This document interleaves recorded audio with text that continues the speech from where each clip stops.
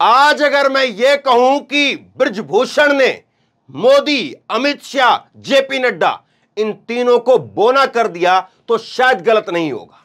यह खबर मैंने अभी आपको बताई थी कि ब्रजभूषण कह रहा है कि वो चुनाव लड़ेगा कैसरगंज से। मैंने ये बताया था अभी आपको। लेकिन जब मैंने देखा कि पत्रकारों से किस अंदाज में बात कर रहा है तो मुझे याद आ गई प्रज्ञा ठाकुर। और प्रज्ञा ठाकुर को लेकर के मोदी ने क्या कहा था? मन से माफ़ नहीं कर पाऊँगा। मुझे वो तस्वीर यह दोबारा से याद आ गई।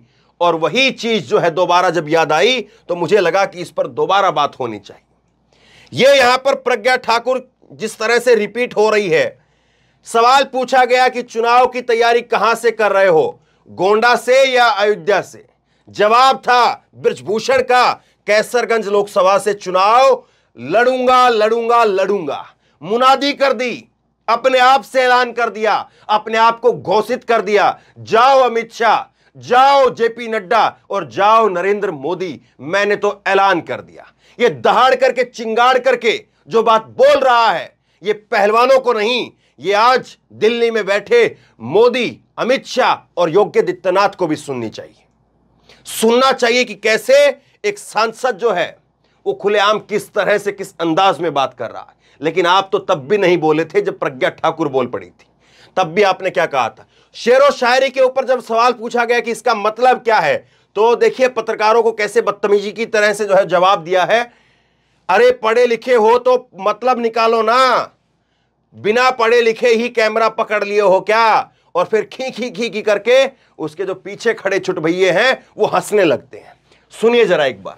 किस तरह से जो है किस अंदाज में देश में बेटी बचाओ बेटी पढ़ाओ का कार्यक्रम चल रहा है? कैसरगंज लोकसभा से चुनाव लड़ूँगा लड़ूँगा लड़ूँगा। ऐलान है ऐलान है। शायरी का क्या मतलब? अरे पढ़े लिखो तो मतलब निकालो ना बिना पढ़े कैमरा पकड़। ये जो हँसी है ये जो हँसी है और ये जो ऐलान है ये यहाँ से साफ़ तौर पर बता रहा है कि ये ऐलान पहलवानों पर भारी नहीं है। ये ऐलान मोदी, शाह और जेपी नड्डा और योगी आदित्यनाथ उन पर भारी पड़ेगा। और मैं एक एक करके आपको दिखाऊँगा कि किस तरह से अब इस पर प्रतिक्रिया आई है और किस तरह से बीजेपी जो है, ये दो जून को, दो जून को बीजेपी जो है वो हिदायत दे रही थी, चेतावनी दे रही थी। ये दो जून की यहाँ पर जो है बीजेपी की चेतावनी की खबर जो है मैं आपको दिखा रहा हूँ। अभी और आज तारीख है 11 जून 11 छह और 23 यानी केवल नौ दिन नौ दिन पहले क्या हिदायत दी गई थी, लेकिन आज कोई फ़र्क नहीं पड़ा। और किस अंदाज में शेर व शायरी आज ये कर रहा था? लेकिन जरा देखिए, प्रज्ञा ठाकुर मुझे याद आ गई। और प्रज्ञा ठाकुर को जब घोषित किया गया, उसको टिकट दी गई, जब सवाल पूछा गया अमित शाह से, जब सवाल पूछा गया नरेंद्र मोदी से तो इन्होंने क्या जवाब दिया था? इनका जवाब था कि प्रज्ञा ठाकुर की उम्मीदवारी, प्रज्ञा ठाकुर की उम्मीदवारी फर्जी आ, भगवा आतंक के खिलाफ एक सत्याग्रह है। प्रज्ञा ठाकुर की उम्मीदवारी एक फर्जी आतंक भगवा आतंक के खिलाफ एक सत्याग्रह है। सत्याग्रह बताया था जहाँ पर नरेंद्र मोदी बैठे हुए थे और जहाँ पर अमित शाह बैठे हुए थे। और किस तरह से जो है वो प्रज्ञा ठाकुर पर फिर जो उसने बयान दिया तो दस दिन का वक्त आज तक वो दस दिन पूरे नहीं हुए जिस तरह से प्रज्ञा ठाकुर को कहा गया कि प्रज्ञा ठाकुर तो भगवा आतंक के खिलाफ लड़ाई में हमारा सत्याग्रह है। उसी तरह से इस महाशय को भी, इस सज्जन को भी, बीजेपी को बेटी बचाओ, बेटी पढ़ाओ का ब्रांड एम्बेसडर घोषित कर देना चाहिए। क्योंकि प्रज्ञा ठाकुर अगर वो घोषित की जा सकती है, सत्याग्रह उसको बताया जा सकता है। तो कम से कम जो है जिस तरह से आज ये चिंगाड़ रहा है, जिस तरह से चीख चीख करके ऐलान कर रहा है तो आज ही नरेंद्र मोदी को तुरंत, अमित शाह को तुरंत, जेपी नड्डा को तुरंत और योगी आदित्यनाथ को भी। इनको घोषित करवा देना चाहिए इसको, बेटी बचाओ, बेटी पढ़ाओ अभियान का ब्रांड एम्बेसडर। लेकिन कुछ नहीं होगा। कांग्रेस की महिला अध्यक्ष है और इन्होंने लिखा है कि यौन शोषण का आरोपी ब्रजभूषण शरण सिंह गोंडा में रैली करता है, लोकसभा चुनाव लड़ने का ऐलान करता है। बीजेपी के बाहुबली सांसद पर देश देश की होनहार महिला पहलवानों ने गंभीर आरोप लगाए हैं, लेकिन इसका अहंकार बेशर्मी सातवें आसमान पर है। क्योंकि इसे पता है कि कुछ भी हो जाए, अहंकारी राजा और उसकी मंडली उसे बचा ही लेगी। तो सीधा सीधा यह सवाल ये क्यों ना पूछा जाए कि जब यह ब्रजभूषण यहाँ पर कह रहा है 2024 में भाजपा की पूर्ण बहुमत के साथ सरकार बनेगी। भाजपा उत्तर प्रदेश में सारी सीटों पर चुनाव जीतेगी और मैं कैसरगंज से चुनाव लड़ूँगा लड़ूँगा लड़ूँगा। जब ये कहता है तो इसका मतलब इसको पता है कि 15 तारीख को 15 जून को जो रिपोर्ट आनी है 15 जून को जो चार्जशीट फाइनल होनी है, या क्या पता चार्जशीट ही फाइनल ना हो, सीधे फाइनल रिपोर्ट पेश कर दी जाए और कह दिया जाए कोई सबूत ही नहीं मिले इसके खिलाफ। इसको सब पता है क्या? या इसके कहे अनुसार जो है वो चीज़ें हो रही है क्या? और अगर ऐसा नहीं है तो किस तरह से किस आत्मविश्वास के साथ में ये बोल रहा है? क्या ये अमित शाह को दिखाई नहीं देता? क्या ये नरेंद्र मोदी को दिखाई नहीं दे रहा? और किस तरह से जो है इसको लेकर के, ब्रजभूषण को लेकर के, ये दो तारीख को, इसी महीने की नौ दिन पहले दो तारीख को क्या खबर आई थी? खबर ये आई थी कि ब्रजभूषण जो है वो नहीं बोलेगा। खबर आई थी बीजेपी के सूत्रों के हवाले से कि ब्रजभूषण नहीं बोलेगा, भड़काऊ बयान नहीं देगा, देने से मनाई करवा दी गई है और पार्टी नेतृत्व मीडिया से बात नहीं करने के लिए उसको कहा गया है और उसी के बाद अयोध्या की रैली जो है रद्द हुई है। लेकिन ये सब कुछ जो है, ये सब कुछ ढकोसला साबित हुआ। ये सब कुछ ढोंग साबित हुआ, क्योंकि अगर ऐसा होता तो आज जिस अंदाज में वो लड़ूँगा लड़ूँगा लड़ूँगा बोल रहा है उसकी हिम्मत नहीं होती।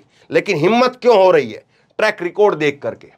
ट्रैक रिकॉर्ड देख करके भाजपा में किस तरह से जब जब जब जिस, जिसने जिस तरह की बात बोली और उसका कैसे कैसे क्या क्या कहाँ कहाँ से प्रमोशन और कहाँ कहाँ से बचा हुआ है, इसको सब पता है।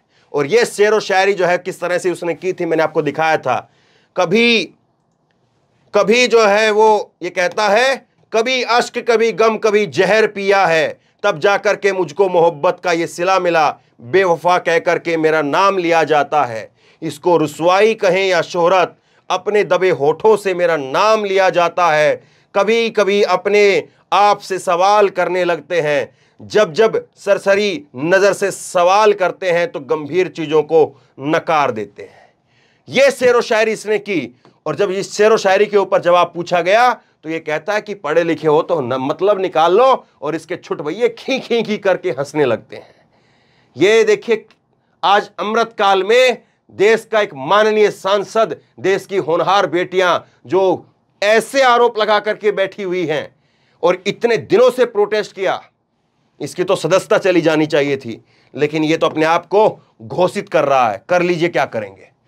और अब आइए जब जरा प्रज्ञा ठाकुर पर। प्रज्ञा ठाकुर, ये 17 मई 2019 की खबर मैंने आपको दिखा रहा हूँ ढूंढ करके। 17 मई 2019 को प्रज्ञा ठाकुर को लेकर के ये अमित शाह ने कहा था। उसके साथ में देखिए, जब अमित जब प्रज्ञा ठाकुर ने बयान दिया कि गोडसे देशभक्त था, है और रहेगा यह बयान दिया हुआ। और उसके बाद में सत्रह मई को जो है वो खबर आती है, सत्रह मई को खबर आती है और ये जो है अमित शाह जी के हवाले से कहा जाता है कि प्रज्ञा ठाकुर के जवाब के बाद तय करेगी पार्टी कि उन पर क्या एक्शन लेना है। मतलब कि प्रज्ञा ठाकुर का जवाब मांगा गया है। और यहाँ पर अमित शाह पीएम मोदी और अमित शाह की प्रेस कॉन्फ्रेंस में सबसे ज़्यादा सवाल प्रज्ञा ठाकुर पर प्रज्ञा ठाकुर के गोडसे पर दिए गए बयान पर पूछे गए। ऐसे ही सवाल के जवाब में अमित शाह ने कहा कि पार्टी ने प्रज्ञा ठाकुर को उनके बया, उनके इस बयान के लिए नोटिस दिया है दस दिन में उनका जवाब आ जाएगा। इसके बाद पार्टी की अनुशासन समिति तय कर देगी कि उनके खिलाफ क्या कार्रवाई की जाए। दस दिन। बस दस दिन। दस दिन हो गए साहब। सौ दिन हो जाएँगे, हज़ार दिन हो जाएँगे, लाख दिन हो जाएँगे और ऐसे लाख लोग आ जाएँगे, लेकिन आप कार्रवाई नहीं कर पाएँगे। यही नहीं। नरेंद्र मोदी का बयान आप सुनेंगे तो फिर क्या कहेंगे? नरेंद्र मोदी ने क्या कहा? यह जब उनसे सवाल पूछा गया सत्रह तारीख का ये खबर मैं आपको और दिखा रहा हूँ। ये सवाल पूछा गया तो मोदी ने कहा कि प्रज्ञा के बयान पर मोदी ने कहा कि साध्वी को कभी मन से माफ़ नहीं कर पाऊँगा। साध्वी बुलाया जाता है। प्रज्ञा ठाकुर सिंह को साध्वी बुलाया जाता है। क्या है? देखिए बीजेपी ने भी ट्वीट किया था। बीजेपी का ट्वीट भी आप देख लीजिए। गांधी जी या गोडसे के बारे में जो बयान दिए गए हैं, वो बहुत खराब है और समाज के लिए बहुत गलत है। हालाँकि ये शब्द जो है हु नहीं लिखे हैं। मोदी ने जो शब्दों का इस्तेमाल किया था कि समाज के लिए घृणा के बराबर है। यह अलग बात है कि उन्होंने माफ़ी मांग ली है, लेकिन मैं उन्हें कभी मन से माफ़ नहीं कर पाऊँगा। देश का गौरव नरेंद्र मोदी। देश का गौरव नरेंद्र मोदी। सुन लीजिए, देख लीजिए, आपके सामने मैं चीज़ें रख रहा हूँ। तय करिए कि अब क्यों नहीं चुनाव से पहले इसको बेटी बचाओ, बेटी पढ़ाओ अभियान का जो है वो ब्रांड एम्बेसडर घोषित कर दिया जाए। किसको? ब्रजभूषण को। ये सत्रह मई 2019 की खबर थी जब मोदी कह रहे थे, मन से माफ़ नहीं करूँगा। 17 मई 2019 को, लेकिन, और 10 दिन में कार्रवाई करने का अमित शाह बोल रहे थे, लेकिन इसका दोबारा बयान आता है 14 नवंबर 2019 को। मई में बोला था 10 दिन दीजिए, इस पर कार्रवाई होगी। मोदी कह रहे थे, मन से माफ़ नहीं करूँगा। लेकिन मैडम फिर बोलती हैं 14 नवंबर 2019 को। और कहती हैं, देशभक्त है गुड़ से। फिर से तारीफ़ करती है। और अमित शाह कन्ना, कन्नी काट लेते हैं, एक नवंबर 2019 का। इसके बाद में अमित शाह का बयान है, और अमित शाह कन्नी काट लेते हैं, अमित शाह कहते हैं, सरकार और बीजेपी ऐसे बयान का समर्थन नहीं करती। कड़ी निंदा करते हैं हम इसकी। प्रज्ञा ठाकुर के बयान पर बोले अमित शाह। और अमित शाह जब पहले जो है, वो पार्टी के अध्यक्ष थे और बाद में गृह मंत्री बन गए थे। ये हालत है साहब। ये है न्यू इंडिया, ये है अमृतकाल ये है मोदी जी का नया भारत। एक चीज़ जो है ना, मोदी के बारे में सब पत्रकार, सब जगह पर लिखी बताई जाती है। क्या चीज़ बताई जाती है मोदी के बारे में? एक चीज़ हर जगह बोली जाती है। क्या कहा जाता है? कहा जाता है कि मोदी ऐसा काम करते हैं कि किसी को कुछ पता नहीं चलता है। 370 हटाते हैं तो अचानक से फैसला हो जाता है, किसी को कानो कान खबर नहीं होती है। नोटबंदी की कानो कान किसी को खबर नहीं होती है। मोदी के मन में क्या चल रहा है, किसी को नहीं पता होता है। मोदी कब किसको उम्मीदवार बनाएँगे, कब किसको राज्यसभा भेजेंगे, किसी को पता नहीं होता है। लेकिन आज मोदी को, अमित शाह को और जेपी नड्डा को अगर किसी ने बोना साबित कर दिया है तो आज मैं कहूँगा कि उसका नाम जो है वो ब्रजभूषण शरण सिंह है। अगर ऐसा नहीं है तो आज शाम को ही पार्टी की तरफ़ से ऑफिशियल स्टेटमेंट आनी चाहिए कि ब्रजभूषण ने जो बोला है, वो गलत बोला है, क्योंकि ब्रजभूषण को हिदायत दी गई थी कि वो पार्टी के खिलाफ जाकर के या पार्टी ये इस तरह के भड़काऊ भाषण जो है वो ना दे। भड़काऊ बातें ना करें, लेकिन अगर ऐसी बात होती तो इसको आज रैली करने की अनुमति पार्टी के बैनर के तले दी ही नहीं जाती। लेकिन ना केवल ये रैली करता है, रैली में दूसरे भाजपा के मंत्री वो भी पहुँचते हैं और साथ ही साथ जो है 35 किलोमीटर लंबा रोड शो करता है। अब आप बताइए कि क्यों आखिरकार जो है इसकी गिरफ्तारी नहीं हो रही है? क्यों आखिरकार पहलवानों को जो है वो कुछ, वो पहलवानों को जो है वो क्यों नहीं आखिरकार वो मिल रहा है, इंसाफ मिल रहा है? या पहलवान जो है वो सबूत क्यों नहीं जुटा पा रहे? तमाम जो सवाल पूछे जाते हैं, उन सब का जवाब यही है। शेयर करिए इस खबर को, लोगों तक पहुंचाइए ताकि लोगों तक पता चले कि क्या कुछ हो रहा है और देश में अमृतकाल की दुहाई दी जाती है। इस खबर को खूब शेयर कीजिए और इसी तरह की तमाम खबरों के लिए ऑनलाइन न्यूज़ इंडिया को सब्सक्राइब कीजिए। साथ में जो बेल आइकन है घंटे, उसको ज़रूर दबाइए ताकि जैसे कोई खबर अपलोड करें, उसकी नोटिफिकेशन सीधे सबसे पहले आपको मिल सके। धन्यवाद। इस खबर को अभी लाइक करें शेयर करें। अभी चैनल को सब्सक्राइब करें और घंटी ज़रूर दबाएँ।